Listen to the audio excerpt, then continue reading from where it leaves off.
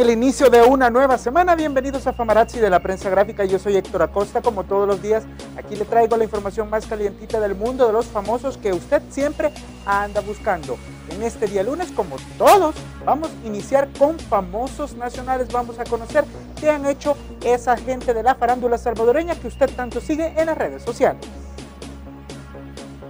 Durante este fin de semana fue el Carnaval de San Miguel y una de las que estuvo ahí fue nuestra querida Elena Villatoro, que hasta anduvo en una de las carrozas donde sonrió y saludó a todos los asistentes.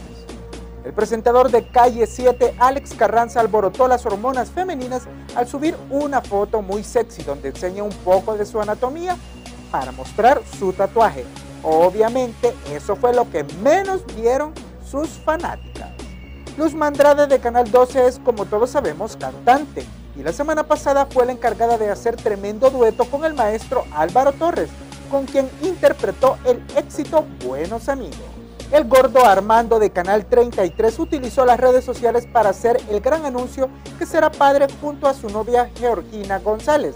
La noticia tiene además un plus y es que ya saben el sexo del bebé y va a ser un niño.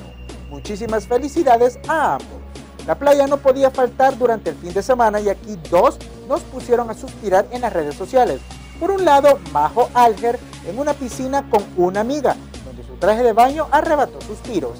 Y otra que hizo lo mismo, pero tomando el sol, fue la guapa Madeline Guardado, a quien no dejaron de piropear también.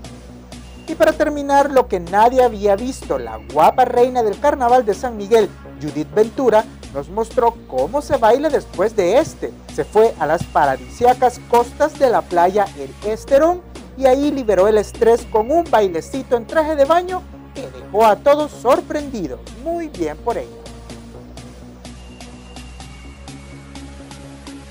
Bueno, la verdad es que Judith Ventura sí nos dejó con la boca abierta con esos sensuales movimientos de cadera. Nosotros sabemos de que ella es muy inteligente, muy humilde, pero ya vimos que también sabe bailar. Yo me despido hasta acá, invitándole a todos los hombres que durante este inicio de semana vayan a cualquiera de las cinco sucursales de Rufians, que están en Metrocentro, Zona Rosa, Plaza Mundo, Multiplaza y La Gran Vía. Ahí tienen una amplia gama de servicios para que ustedes hombres vayan y se atiendan como reyes. Yo soy Héctor Acosta, hasta acá con Pamarazzi nos vemos hasta la próxima.